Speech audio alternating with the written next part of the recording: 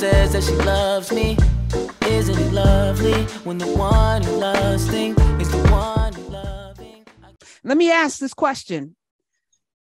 Her saying this, does it have the same weight as mm, I'm just I'm, I'm being measured because I, I don't want to say you know any anything you know negative about Vice President Harris. At the same time, I feel like collectively, while there's a, a lot of people that actually, you know, rock with her, mm-hmm. I feel like, you know, her saying it like, yeah, okay, you you should be saying these things, right? Like, and then some would say, well, haven't you've been saying these things?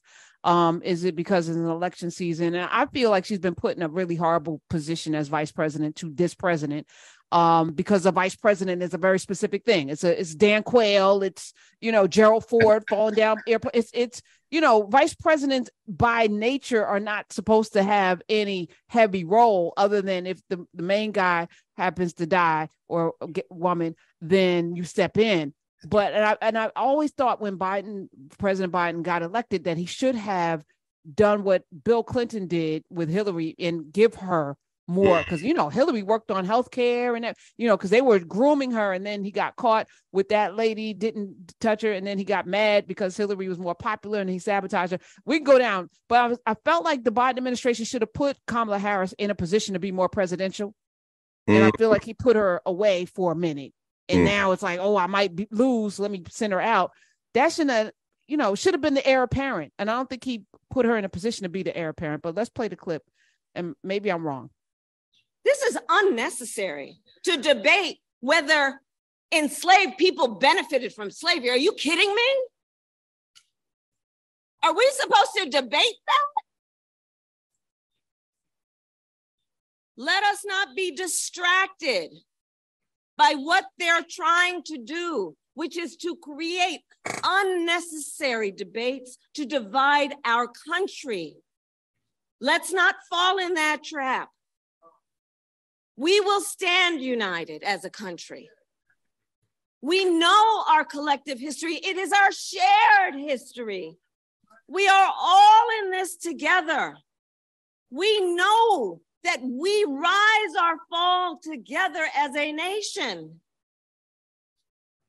And we will not allow them to suggest anything other than what we know the vast majority of us have so much more in common than what separates us.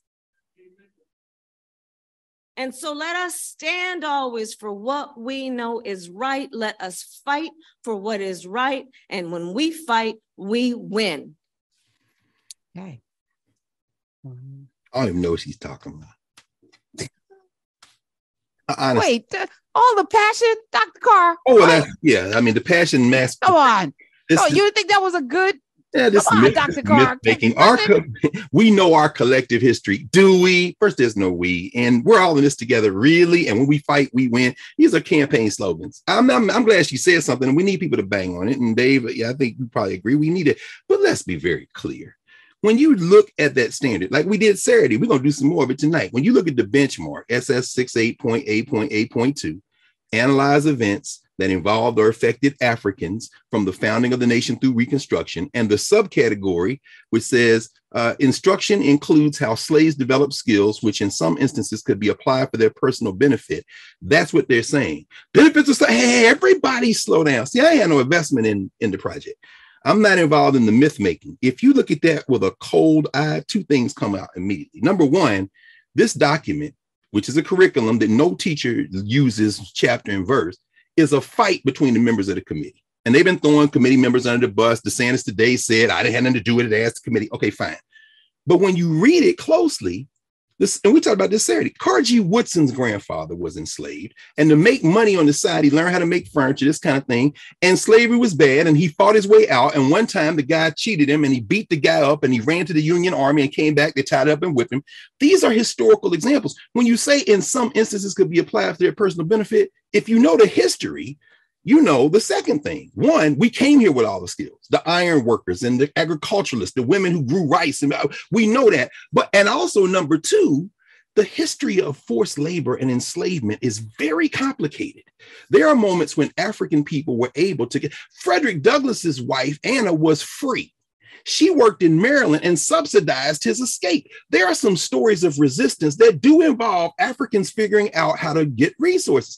But when you come in with the sledgehammer, yeah, it's a great soundbite. Yeah, we got to bang on this curriculum. But what you're what you're then creating is a situation where people will start listening to this as if they read it and thought about it. This isn't what she's doing, not intellectual war, warfare. She's doing politics, and we need both.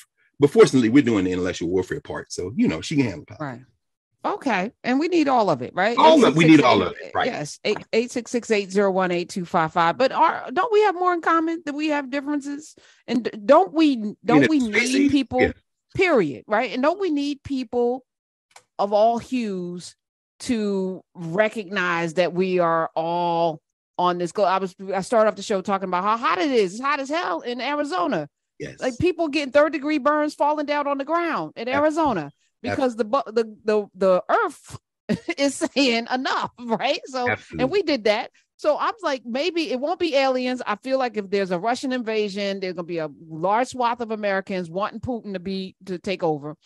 Yeah. I don't I think Martians come, black folk might be okay with that.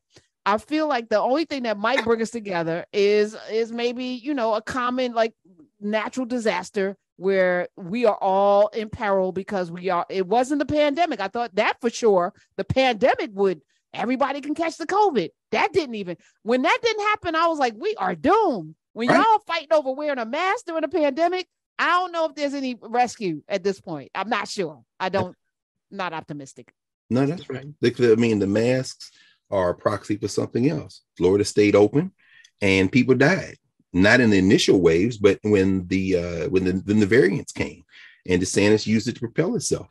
I mean, yeah, a common threat to our humanity. I mean, it'd be nice in an Independence Day scenario, but the simple fact of the matter is, as you go back to Kiefer Sutherland and they cloned Tyrone, as long as you have a common enemy, what um Nikhil Singh in his book Black Is a Country calls the uh, the anti-citizen. That's us you can rally. So when the country music guy says, I want to go back to the way it was, what you're saying is you want to go back to when you could tell us what to do.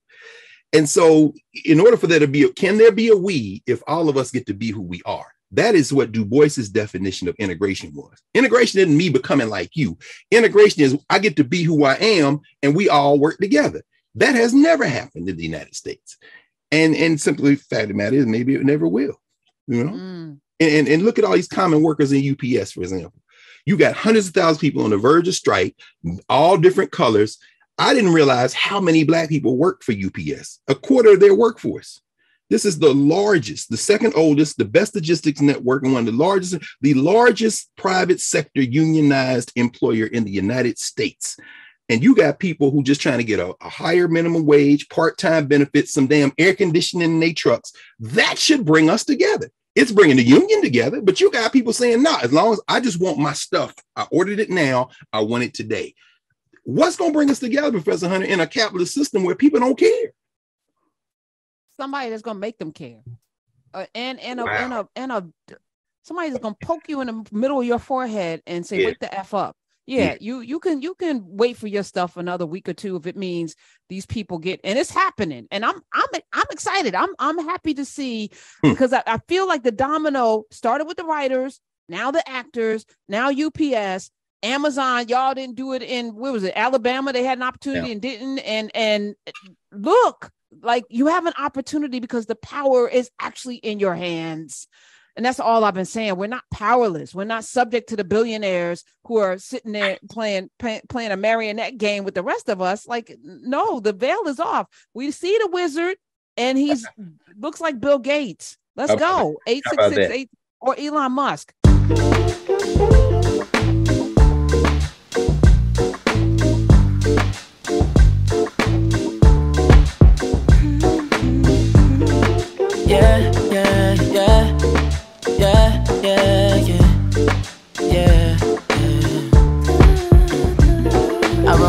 And she smiles and says that she loves me. Isn't it lovely when the one who loves things is the one?